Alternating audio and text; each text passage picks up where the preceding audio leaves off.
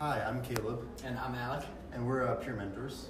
So it's time to declare majors, and we know you guys probably have a lot of questions, so we're going to go ahead and answer some of those today for you.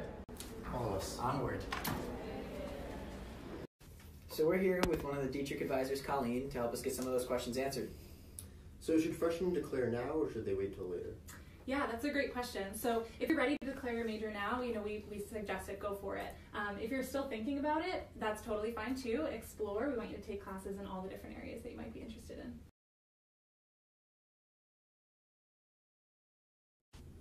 You're definitely not locked in once you declare your major. You're welcome to change it if you find something else you're more passionate about. Just talk to your advisor.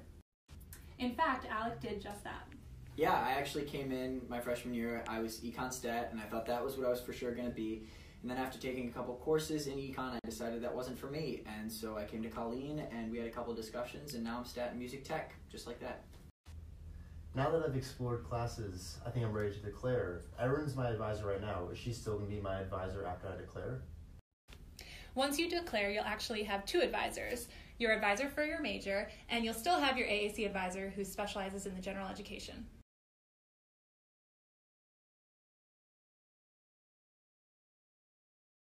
Hey, I just went through the major declaration process and it was super easy. Step one was to come meet with my AAC advisor. Step two was to go up to the philosophy department and meet with my new major advisor. Now I'm all set.